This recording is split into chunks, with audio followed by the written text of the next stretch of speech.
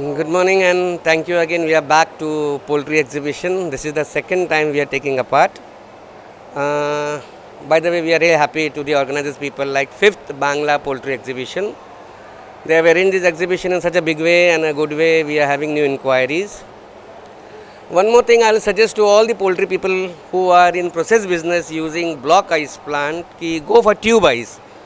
Likewise hygienic wise and commercial wise uh, though big players have installed our plant, then to the small players who are using 1 ton, 2 ton, because we have come up with a new process like uh, 1 ton, 2 ton, up to 5 ton capacity. So there are inquiries and uh, we are trying to approach the customers. Though it's growing, it's growing and we are getting more inquiries for that. Like just you saw, the, this uh, person was the client from uh, Calcutta itself. He is interested in a 10 TPD plant and uh, since we have installed a bigger plants in the bigger companies like Sneha and Lifeline, again uh, small people are coming to us and they are getting a good response for that.